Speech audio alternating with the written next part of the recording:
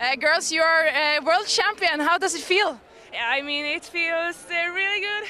It was uh, quite a hard race, uh, really high speed from the start. So, yeah, really glad to finish uh, like uh, world champions.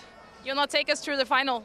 Oh, it was. Uh, uh, I had the plan that uh, ski faster and faster, and it worked. So I'm really happy. But it was tough. How do you celebrate? Uh, hetkellä Sundling ja Riibum. Ja yhä tässä järjestyksessä. Jonna lyö tuossa tassua siihen malliin tulee. Ja Sundling on kiinni kullassa tällä hetkellä muutaman metrin. Emma Riibumia edellä ruotsalaisten näytös. Tämä loppukilpailu on ollut ja Jonna Sundling ottaa voiton jälleen kerran. Arvokisavoitto. Toinen maailmanmestaruus peräjälkeen olympiavoitto siinä välissä. Emma Riibum kakkonen.